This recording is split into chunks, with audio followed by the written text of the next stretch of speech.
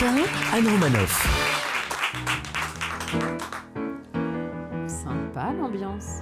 Ce matin, j'ai un peu le blues. Mais oui, le blues du début d'automne, le temps gris, la pluie fine, les radiateurs qu'on rallume, les affaires d'été qu'on range à la cave, le rhume, la taxe d'habitation, la toux, les frissons, la taxe foncière. L'écharpe, j'ai envie de me pelotonner sous une couverture en buvant un thé chaud et en mangeant des tartines. En automne, le matin, tu te demandes, voyons, comment je m'habille aujourd'hui? Il va faire froid ou il va faire froid L'automne, c'est aussi la saison des marrons et des châtaignes, et depuis quelques jours, il y a une épidémie d'agression d'enseignants. Les temps changent. Avant, on se cassait la tête pour résoudre les problèmes que donnaient les profs. Maintenant, ce sont les profs qui se font casser la tête au moindre problème. Alors, faut arrêter de dire Oh, les profs, ils ont la belle vie avec toutes ces vacances. Ben non, elle est de moins en moins belle, la vie des profs en ce moment. Même dans les beaux quartiers, les parents se comportent comme des clients insatisfaits. Mais pourquoi vous avez mal noté mon fils dans son devoir d'histoire géo? Enfin, j'ai pas capté. Vous l'aimez pas? Vous. Attendez, moi je veux qu'il fasse HEC, hein. Faut monter cette note, sinon je vais m'énerver. J'ai des relations au ministère de l'Éducation, attention. Oui, dans les beaux quartiers, les parents menacent verbalement les enseignants, dans les quartiers difficiles, on les menace physiquement. Avant, pour être enseignant, fallait avoir la vocation, maintenant, faut vraiment avoir la foi. Avant, pour être prof, fallait avoir de l'assurance, maintenant, faut avoir avant tout une bonne assurance. Avant, les instituteurs donnaient des bons points, maintenant, ils se les prennent dans la tête.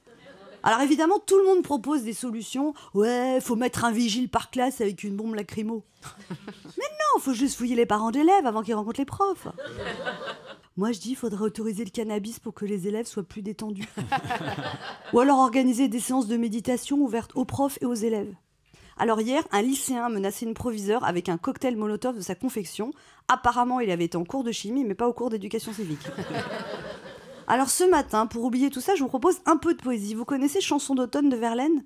Oh là là, le public Ah, pourtant, bah, c'est notre époque, quelle Verlaine, culture oh.